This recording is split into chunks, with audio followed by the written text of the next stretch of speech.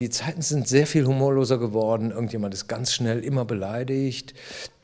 Und es gibt heute auch so einen Anspruch darauf, dass über niemanden mehr gelacht werden darf, außer über die anderen.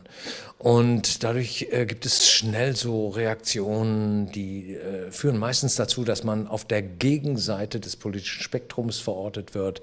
Das heißt, macht man Witze über die Grünen, ist man sofort rechtsradikal, AfD oder schlimmer Nazi oder was weiß ich. Ähm, mich ärgert am meisten eigentlich im Moment der Verfall unseres Landes. Und also, das ärgert mich schon, dass wir einfach dem, Verfall, dem Land beim Verfall zusehen. Und man denkt, jetzt muss doch mal jemand anfangen, eine Bahnstrecke zu bauen oder mal irgendwie zu gucken, da muss doch jetzt was passieren, dass Menschen vorwärts kommen können. Und heute haben wir sehr oft diese Situation, dass man äh, dass es eine Einheitsmeinung gibt, von der man nicht mehr abweichen darf. Und das war auch einer der Gründe, warum ich damals unterschrieben habe, weil ich dachte, hier muss doch eine Diskussion stattfinden. Das war eigentlich das Wichtigste, fand ich damals. Und ich finde, diese, diese Einheitsmeinung, die heute vorgeschrieben werden, und jede Abweichung davon ist gleich extremistisch, ist gleich rechts- oder linksradikal oder was auch immer, das macht Diskussionen heute so schwierig und das finde ich schade.